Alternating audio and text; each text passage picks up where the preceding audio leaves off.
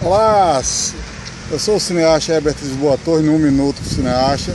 Estou aqui de lado da estátua linda aqui de é, Graciliano Ramos, que eu sou da terra dele, né, me baseei muito, grande, grande produtor de cultura, maior romancista do Brasil, é, e também da terra de Luiz Barros Torres, que foi cineasta é, aqui no estado de Alagoas, nas décadas de 60, 70, aqui que foi meu tio.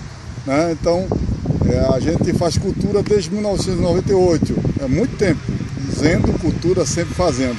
Então, é, siga a gente na, pelo Facebook, no perfil Herbert Lisboa Torres, ou então no, no Instagram Herbert Underline Lisboa Underline Torres. Siga aí com o grande romancista brasileiro.